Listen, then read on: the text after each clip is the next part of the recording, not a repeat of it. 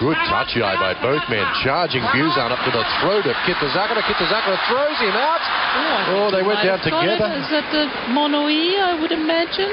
It was